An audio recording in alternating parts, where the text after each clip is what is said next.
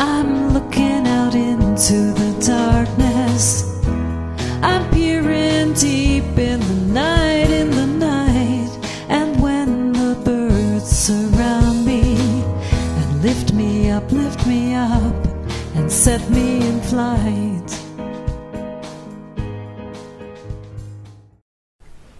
Yeah, I mean, Mox and I are we we um, wrote the initial letter that uh, that triggered the formation of uh, of the organization. Mm. We were sitting together one evening drinking a beer at the um, Weisses Kreuz, a, a little bites restaurant on uh, Stadelhofen No. near Stadelhofen, and uh, we wrote it. We wrote an invitation on the back of a napkin, and uh, I forget how we circulated it because there was no email in those days.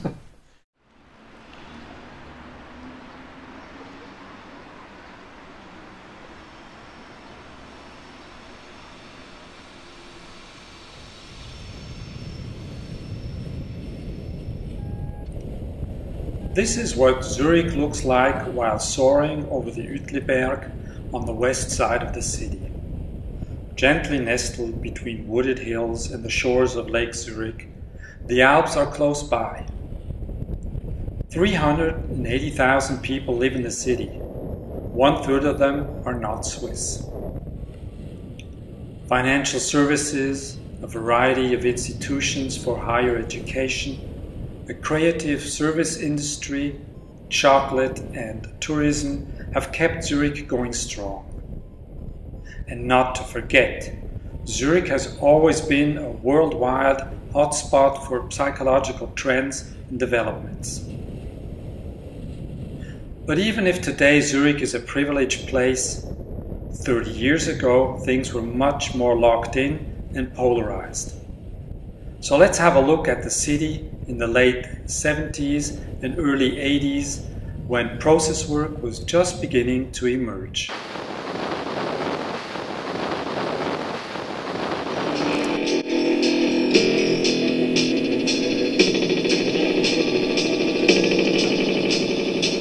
Money is manifest in height and sterile glass facades. Power flashes in the red amber green rhythm of traffic lights. The constant flow of traffic brings unshakable stability, and omnipresent robots watch over law and order.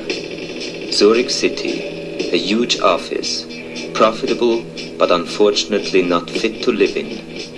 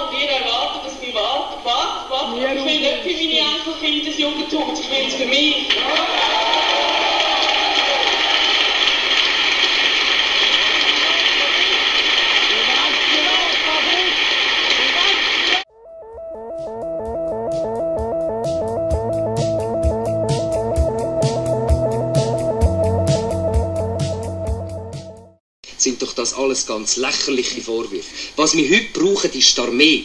Ich kann da nur darauf plädieren, ohne Armee kommen wir dieser Jugendbewegung nicht mehr und dann steht morgen die Revolution vor der Tür und dann haben wir den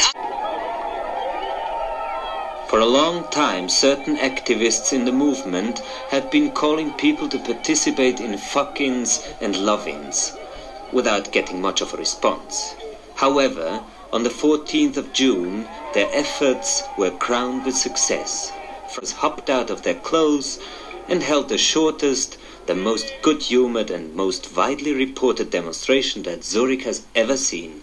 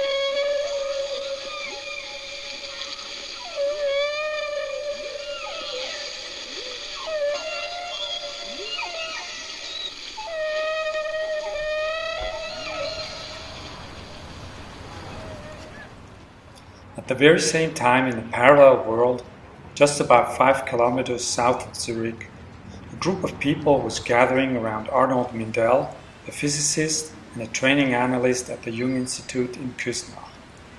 These people were enthusiastically interested in following their dreams and unfolding body signals while deepening a concept then called the dream body. Little could it be foreseen at that time that dream body work would gradually evolve into process work, a globally applied new paradigm for facilitating conflict, crisis, and change.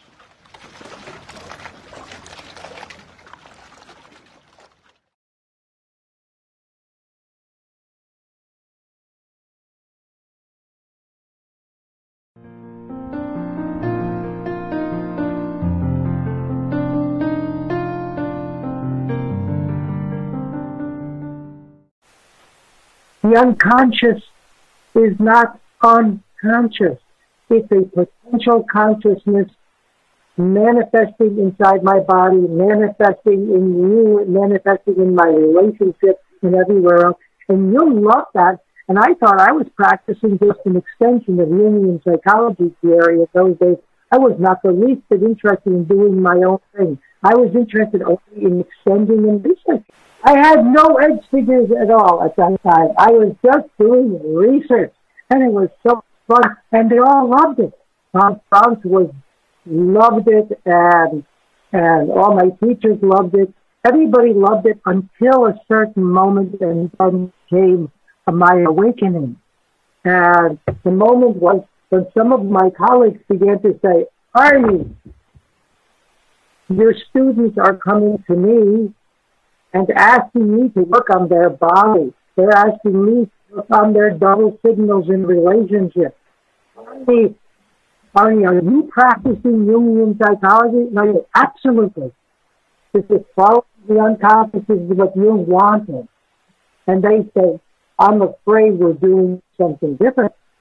And so thanks to those uh, colleagues who were over the edge for me for realizing that I was in the middle of something different, and that's how process work began.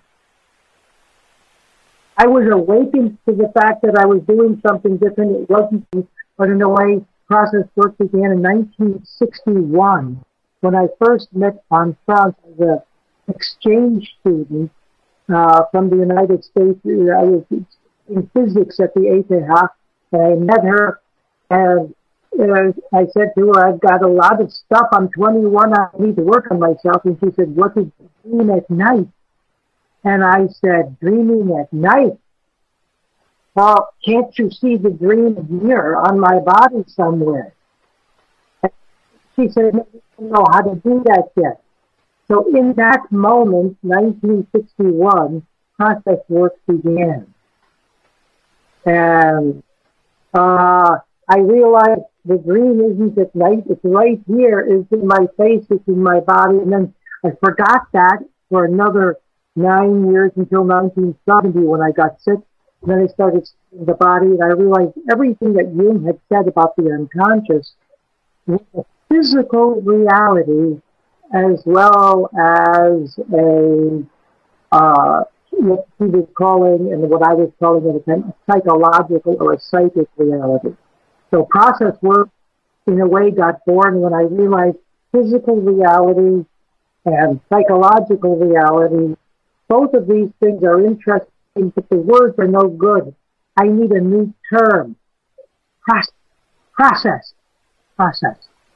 Uh, I have a process that manifests in dreams, it manifests in the body, and it's neither psychological nor physical. That exciting thought that, oh my God, I'm really studying process. So that's how process work began for me. It began in 1961 and again in 1970 already.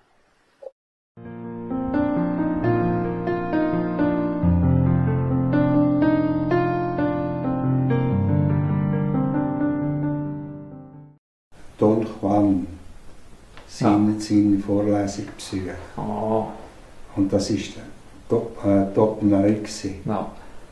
Und äh, das ist der, der ist er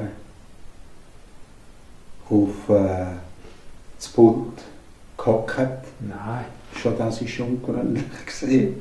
und dann hat er äh, über, äh, über Don Juan erzählt. Und dann habe ich ja, das ist es doch nicht. Ende Stunde. Das, das kann man nicht ernst nehmen. Oh. Ja, und danach habe ich äh, dann äh, gesagt, mir zwischen dem ersten und zweiten Mal habe ich gedacht, es ist mir einfach geblieben. Es ist mir einfach etwas geblieben und dann habe ich gedacht, es ist doch interessant und so. Und äh, ja, so hat es angefangen. Na. Und dann die Vorträge zu Don Juan, da hat er dann plötzlich 60 Leute gehabt und normalerweise waren da fünf Leute in einem Vortrag oder vielleicht mal 15, wenn einer schon ganz gutes Renommee hatte. Es war furchtbar deprimierend. Und das war natürlich dann plötzlich 60 Leute, musste er einen Saal anmieten. Und ich bin überzeugt, da hat eigentlich dann diese schwierige Geschichte mit dem Junginstitut begonnen.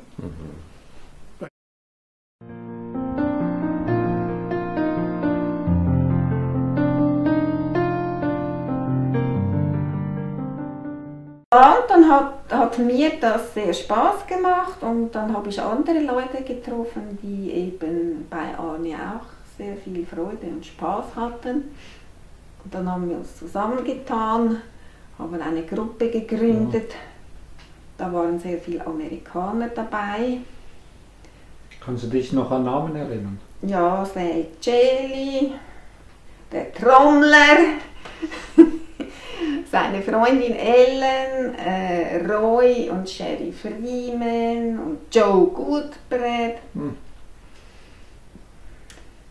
An Ellen gearbeitet, da kann ich mich gar nicht mehr gut daran erinnern, aber dann kam dann plötzlich Arne, der kam dann endlich. Und dann äh, war das regelmäßig, das war dann so eine Institution, diese Gruppe. Aber die Deutschschweizer und die Deutschen waren natürlich hier zu Hause, hatten zum Teil auch Familien hier, aber ich war die Einzige mit kleinen Kindern. Da habe ich mich immer sehr äh, allein gefühlt, weil sehr viele Treffen waren am Sonntagabend. Und die Englischsprechenden, die hatten viel mehr Zeit, um zu studieren. Die konnten die Bücher besser lesen, die konnten schneller Englisch sprechen und hatten auch, wir hatten auch verschiedene Hintergründe. Ich denke, die Englischsprechenden, vor allem die Amerikaner, waren viel lockerer mit Ausprobieren. Die Sprachigen und die Englischsprachigen getrennt. Und ein erster Schritt war eigentlich, dass man anfing, oder dass Arne anfing, diese Gruppen zu mischen. Und das war auch nicht ganz einfach. Auch für uns nicht ganz einfach. Aber eigentlich haben wir alle profitiert. Zum ersten Mal waren wir zwölf Leute in einem solchen Berghaus. Und äh, wir waren ganz happy und das war so unsere Stammgruppe, nicht? Äh, Und dann äh, haben wir gesagt, ja, ja, das machen wir gern, machst du wieder sowas mit uns? Und dann haben wir ein zweites Seminar gemacht und da waren plötzlich 15 Leute. Und drei waren nicht von uns. Und wir haben gesagt, ja, wieso hast du die auch eingeladen? Wir haben doch gesagt, mit uns. Und Arne ist so wütend geworden und gesagt, das ist Faschistoid, was ihr da macht, das sind meine Freunde. Und das ist unglaublich, ich habe ihn noch selten so er, erzürnt erlebt. Und das war natürlich auch eine ganz starke äh, Erfahrung in Bezug auf ähm, Öffnung, diese vielleicht doch auch schweizerische Art des wir unter uns bleiben wollens und dann diese Öffnung und dann waren das erst noch Amerikaner, die, deswegen musste man dann Englisch reden und wir konnten nicht mehr so reden, wie uns der Schnabel gewachsen war und so weiter. Also das hat ziemlich tumultuöse Szenen gegeben. Also what has happened a lot in the school is diversification. In other words, there was a separation of that original group between some people who followed Ani and people who followed Nora. but there was a painful interaction that it was probably more painful than we could see was in relationship between Nora and uh, Arnie, where Nora was going for more staying with the conservative side, saying, as Jungian, that's what you do. Mm-hmm. And that was also reflected in the Jung Institute. He, Arny was seen more as a defector, you know, doing his own stuff. Mm-hmm. They didn't have a concept that you have a new idea.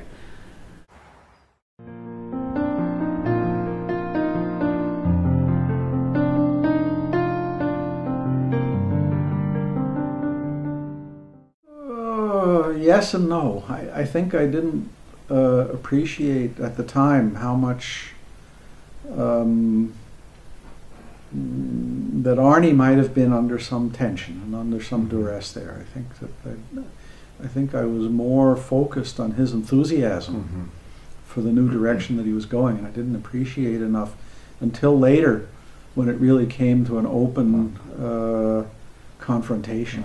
Then I began to understand how how difficult that must have been for him. But I, I remember sitting with Arny and um, a group of us processing the different roles in relationship to the Jung Institute as we were building the school. It was in the 82, 83. Um, I think Arny was not hiding any of those things. Quite the contrary, he was very open and talking about it and seeking uh, um, to become aware by uh, w- by processing those things together, using the tools that we had, using dreams, using the I Ching, using everything that could be useful to pick up what we call today the dreaming, and to see how we could how we could make sense of it in the CR. Ja. Bei den nächsten, äh, beim nächsten Treffen war dann diese ganz desaströse Erfahrung, wo er einfach Geschichten erzählt hat. Ja was? Sie berühren die Leute? Ja, das, das kommt gar nicht. Ja, ich kann Ihnen Videos zeigen oder ich habe die, die Einwilligung geholt zum, für den Körperkontakt. Ja, das interessiert uns gar nicht. Äh, Und dann, ich kann Ihnen Videos zeigen, wo das Ganze. Was? Sie, Sie haben Videoaufnahmen? Ja, ich habe eine schriftliche Genehmigung. Das interessiert uns überhaupt nicht. Also, mir kam das vor wie bei Bert Brecht, Galileo Galilei, der die Jupitermonde gezeigt hat, der Inquisition. Und die wollten einfach nicht sehen. Die wollten einfach nicht durch das Teleskop schauen. I don't think they, the, I don't think the Jung Institute was interested in having a bodywork classes in there Mhm. at that time No. within their program. And I don't think those people that were interested at the time in process work or, or the dream body that Arny had worked on in the body symptoms No. were all that interested in, in a more linear dream interpretation focused hmm. approach that at the time was taught at the Jung Institute. So I'm sure there were a few tremors, but I think overall it was an organic hmm. growing out of another No. branch. No.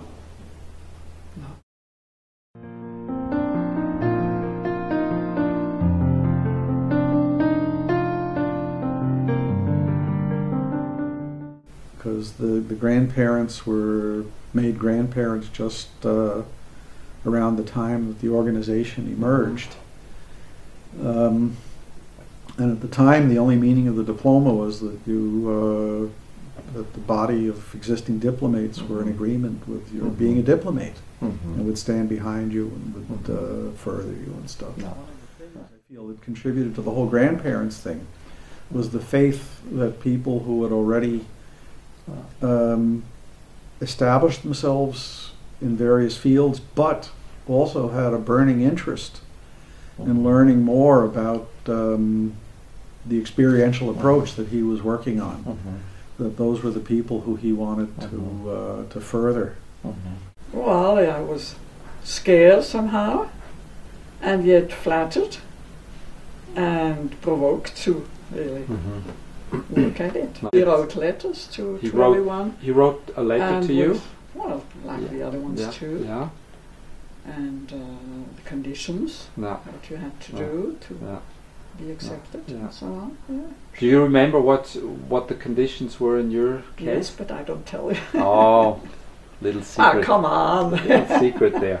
angefragt und es gab elf Punkte, glaube ich. Jawohl, elf Punkte. Und da hat er dann eingekreist, was man noch bearbeiten soll. Mhm. Ich ging zwar zu Arne hin und sagte, äh, er müsse mich nehmen, wie ich sei. Ich mache es nicht, weil er hat mich immer unterstützt, mich im Junginstitut querzustellen und nicht alles zu fressen, was serviert wird. Und ich sagte, ich mache das jetzt nicht, weil du das verlangst. Ich mache es schon, aber nicht, weil du es verlangst. Und dann hat er gesagt, okay, bist durchgekommen, ist in Ordnung. Aber natürlich habe ich es gemacht und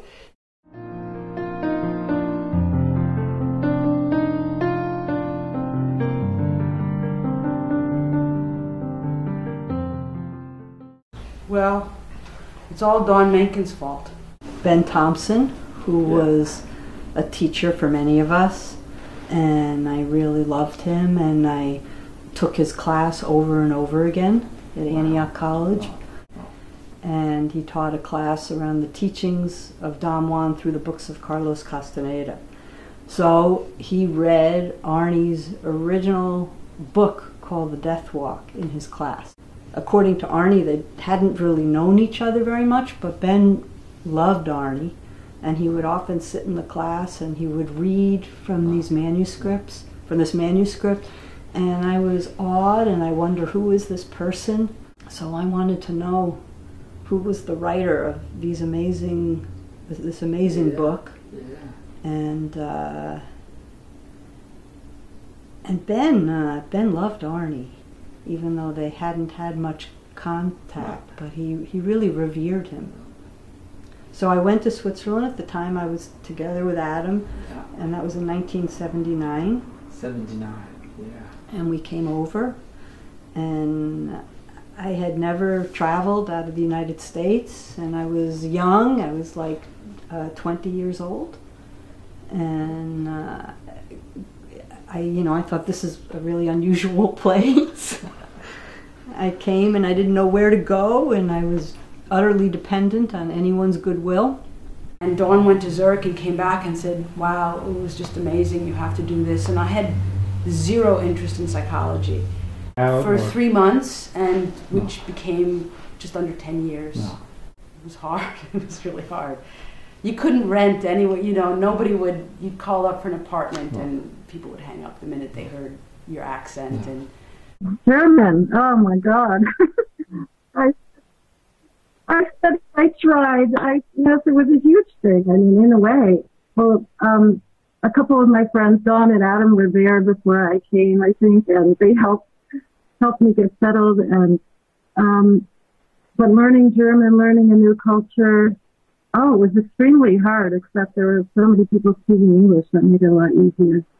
First, earliest years, I cleaned houses. I cleaned houses of rich people. Yeah, and that was kind of interesting. It wasn't bad. Can make decent money. After a few years, we got into this teaching English, and that became a real great way to make money. Like I really made good money actually through the 80s teaching English. So that worked. I worked at Migros Clubschule for many years. In fact, I sometimes see like on Facebook, students from that school find me, and they and they loved me, and they I changed people's lives at the Migros Clubschule. Amy and I sang music. We played music in the streets. I could. Uh, we could play. I could play music uh, twice, two evenings a week, and earn enough money for food for the week. Wow.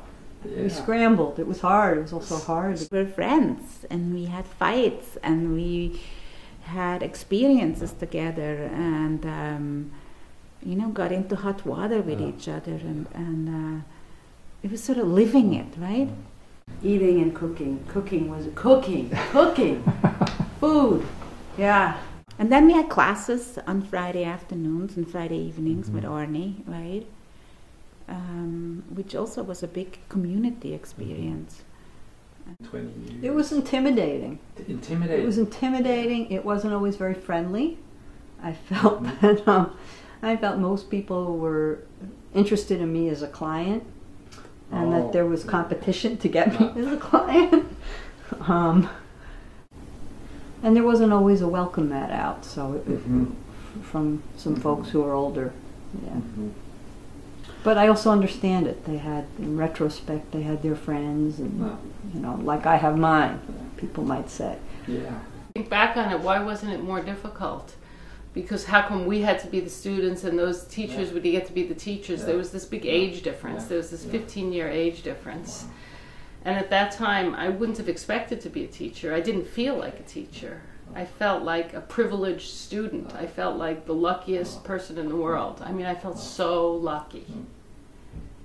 I thought like, how did my, how did I get this luck? Like, how mm. did my life turn out this good that I get to be here at this time in this position? Mm. You know, and I felt very respected as a mm-hmm. student and mm-hmm. honored. Like, we had a lot of status, you know, as those original mm-hmm. students.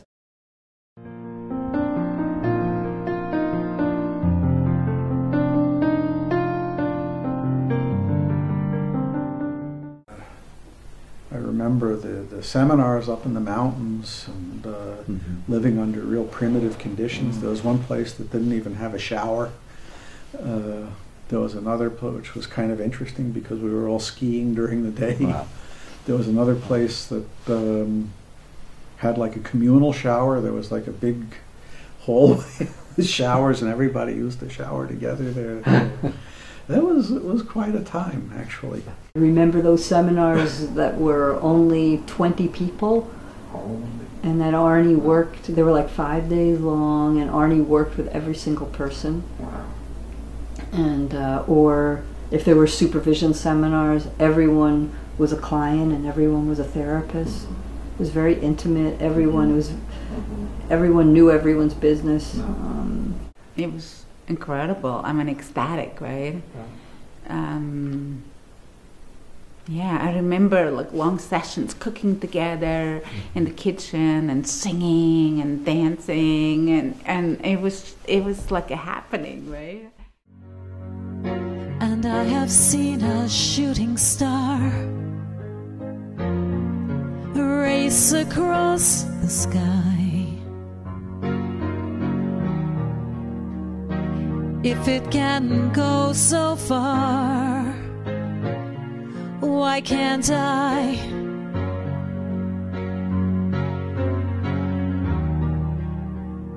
And I have seen a rainbow in the sun and in the rain.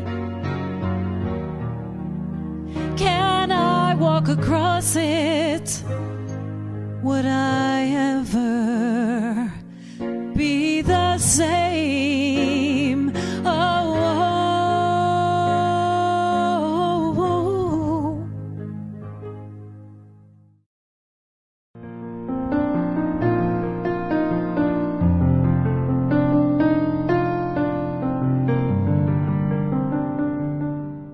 Aber Skifahren war also war vielleicht wichtiger als die Prozessarbeit.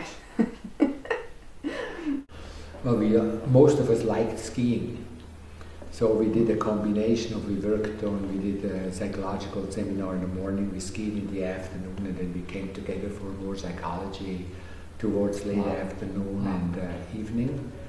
And then skiing was big too, Yeah. you know, trying to keep up with Arny because Arny was a maniac skier. Oh my god. And uh, and he, you know, if you wanted to ski with him, you had to just keep up. He wasn't gonna wait for you. It was a big atmosphere in those days of like you always wanted to be where Arny was, and you always wanted to be with the group, and we all crowded around Arny to, to learn, you know, and it was it was both competitive and inspiring and a turn on, and so you know Arny skied, so you had to go ski, so you could be with Arny, so you could talk, and everything was constant talking, you know. But I didn't know how to ski.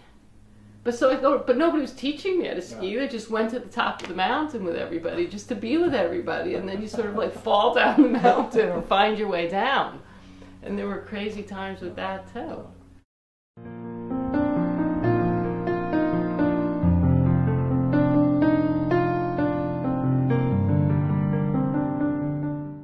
I remember when I was at the first seminar looking at Arny working with 17 people, I was the 18th. where we were 18 people. I, I organized myself to be the last one. I remember looking at that and saying, this is absolutely fantastic. And there, there were not 1% of the tools we have today there. Arny was just discovering, but the spirit of discovery that the man was showing and demonstrating in every situation his gentleness, his kindness, and yet his firmness. I thought what was coming out was transformative. I hadn't seen that anywhere.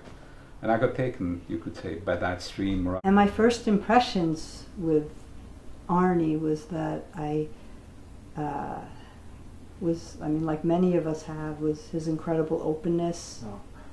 and that there wasn't an idea of what normal was. I feel as a young woman at the age of 20, I was mm-hmm. trying to really find myself. I had tried all kinds of self help things, and I felt that I never measured up or could succeed in anything that I tried. Mm-hmm. And here was this man who was more validating all of my inner mm-hmm. experiences and wanting more of them. Arny at this time was much more available, right? And uh, we all had, I mean, Arny was our main teacher, and we had the most exposure to him. And um, I mean, the, that's one thing that I think some of our students today maybe don't have so much anymore is we had like hundreds and hundreds of uh, uh, chances to observe Arny work in the middle, right?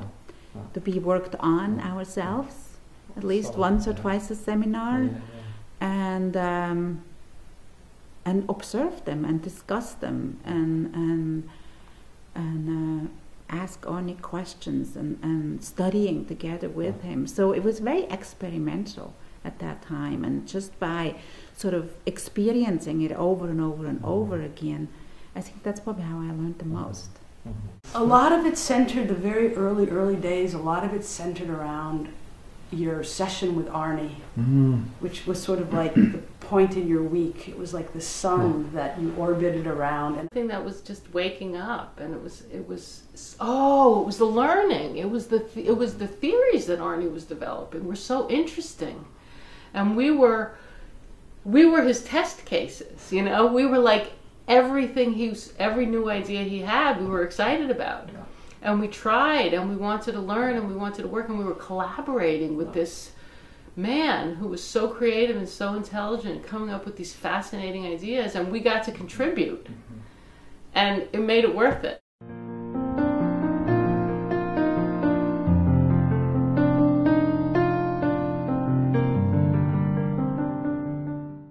um, parallel, a group of us with Arny had met to decide about creating an organization or a school.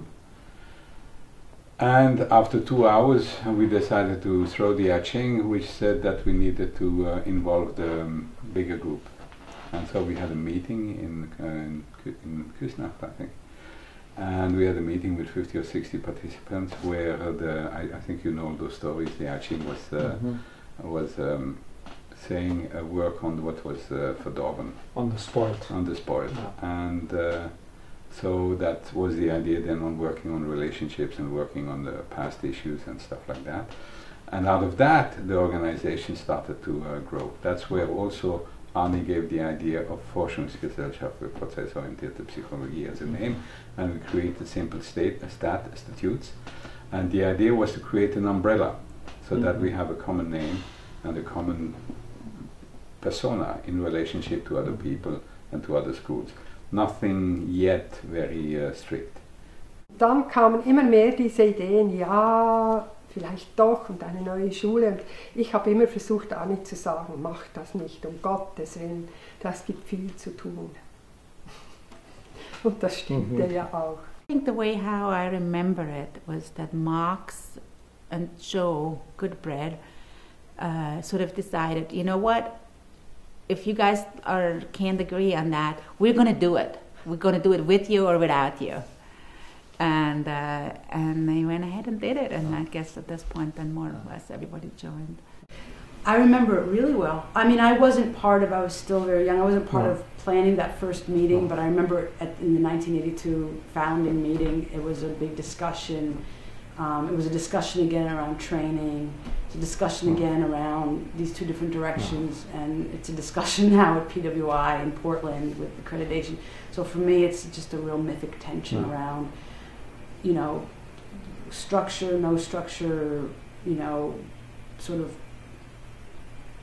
being accountable to certain things or hmm. trying to sort of form an entity versus following the flow or the spirit. So Forschungsgesellschaft prozessorientierte Psychologie was a mouthful.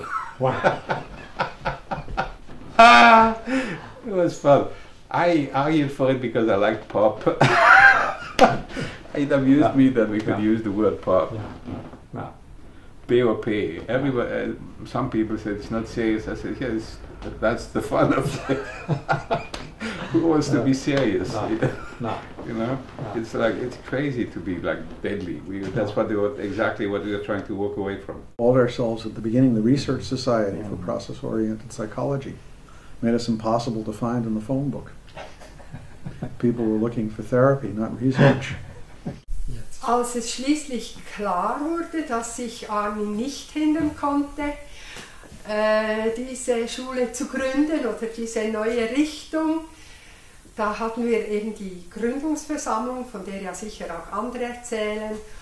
Und ich dachte, ich möchte irgendetwas Irrationales einbringen und nahm mein Schwirrholz mit, das ich noch von meiner Ethnologieprüfung am Junginstitut hatte. Das hatte ich selber geschnitzt und schwang es während dieser ähm, Gründungsversammlung.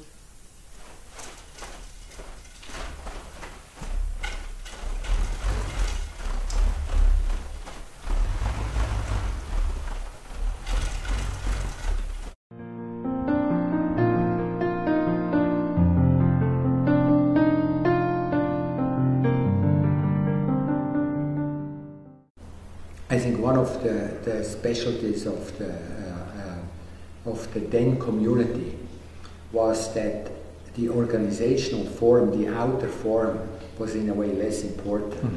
So uh, it was a learning community to begin with, and people were interested not so much in a degree because there was no degree.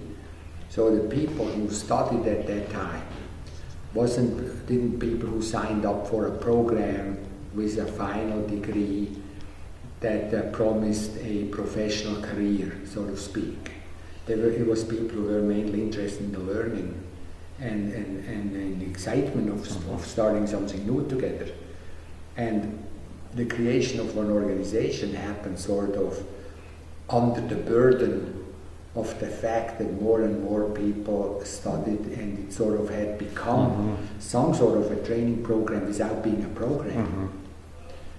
Max und Urs darum gekümmert, dass zum Beispiel auch Ausländer in die Schweiz kommen konnten und studieren konnten.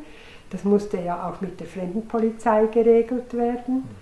At a certain point, um, organization became an issue. The, the whole thing about who had voting rights and who should be invi- invited into committees to do this and that, that became an issue. And uh, we decided to open up all committees to anybody who wanted to come.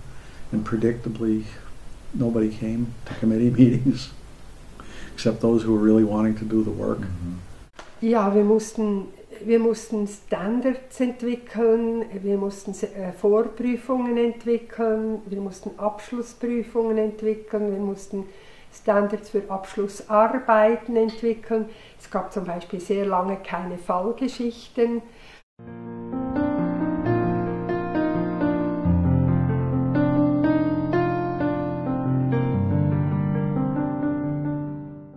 And Madeleine Ziegler was our secretary and was running the office, and really, she was sort of holding us all together. She did a lot of work Yeah. that time. And can you imagine keeping us crazy people all trying to herd us together? It was, I don't know how she did it. In the Vorstand, I was always the uh, actuar, which No. is a, I don't know, secretary and No. girl for everything. Yeah. and when things came up, they just said, well, Madeleine will do it. And, uh, Because Madeleine did it. And did did it it well. did it well. did it well. Yeah. I can Yeah. stand to Yeah. that. Yeah. I enjoyed doing it too. It's something I, I'm, I'm good at. Yeah. Mhm. And the That's joy, fun. the joy is there if you. It's uh, it's uh, nice to have a work well done, or whatever you do. Yeah. If you cook or if you Mhm. are a therapist or whatever. Yeah. Mhm. Yeah. People start to realize more and more that behind every dreamer and, and genius, there, there's somebody who do, does the uh, day-to-day work. Yeah. You know, the paperwork, Yeah. the uh, down to earth. Yeah. Yeah. Yeah. Yeah. The dreaming had a, a higher. Of course. Higher rank. Of course. No. No. It has probably absolutely seen as a higher rank. Wow. Who knows? I don't know.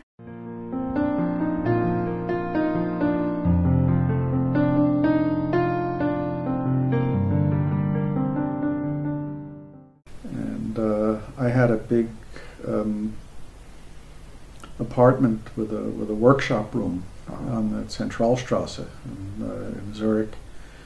And uh, first, I used it as a machine shop to do my engineering stuff, and then I converted it into a course room.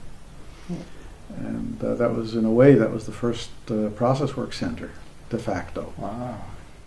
Well, one of the problems we had was that we didn't have a location, Mm-hmm. right? There was no classroom we could all meet, and we were like meeting in Joe's workshop or, or in his living room or you know pla different places. And um, yes, my parents bought a house in Wollishofen and rented it to the organization, and um, sort of gave us a place to be to be and have an office. And So a lot of people were having their private practices in there to Mhm. help to make it possible. And there was a larger room. There was an our group Yeah. room, and um, yeah.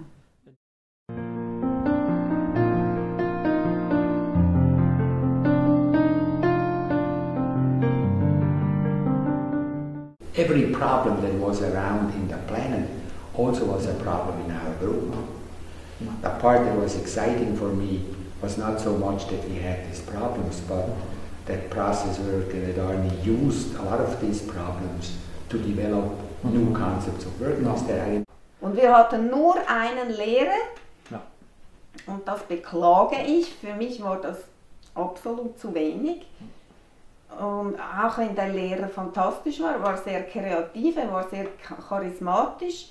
Man konnte sehr viel von ihm lernen, aber man kann nie von einem Lehrer genug lernen und wir waren zu abhängig. There was no theory of rank or there was no concept of meta skills, so I feel there was a lot of group dynamics or mm-hmm. insider outsider and rank dynamics that just it's the way it was and you just kind of figured it out and mm-hmm. you know and that was a really big mm-hmm. and I think dual relationships I think was a really big hot spot. There was just it was a group of friends and every people worked with each other and were therapists and teachers and clients and whatnot and it was kind of a, everybody was doing I mean that was the 80s and that's Yeah. how it was and it was also a, a group in development so it's but that was that was that was a hot spot. Oh, I would say success, like in popularity, like who who were the therapists with uh, the most clients, and who, as we're beginning to do our own seminars, who could fill seminars and mm-hmm. stuff, that kind of thing. I'm not really a good person to say anything objective about the past in that sense.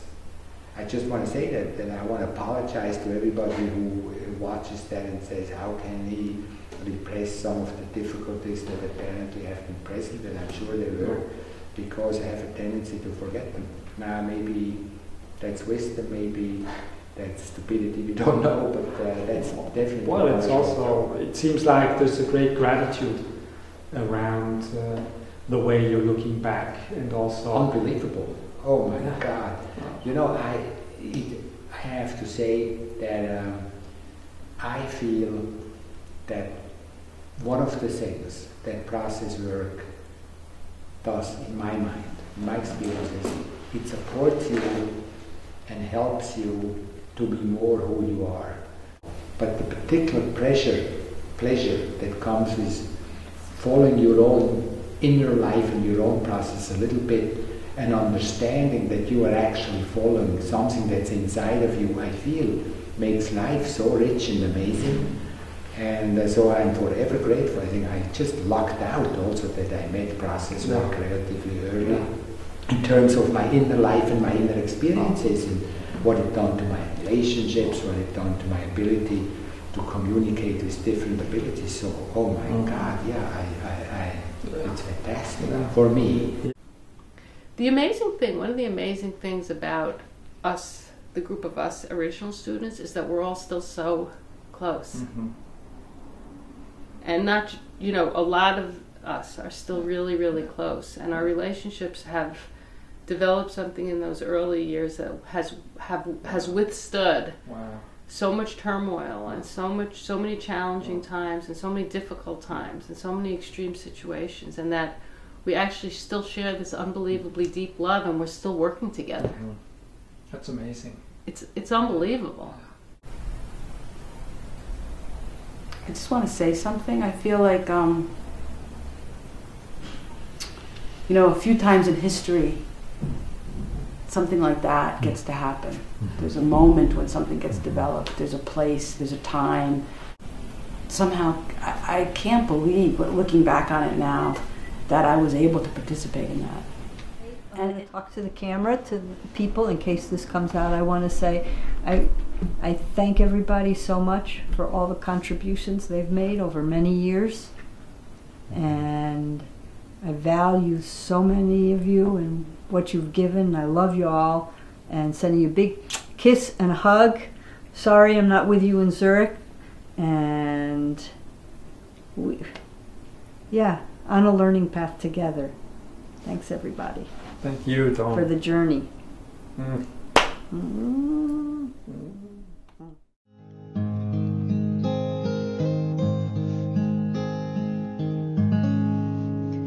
Deep in the night, when there's no place to hide,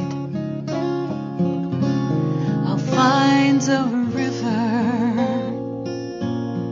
deep inside, and all my dreams will start to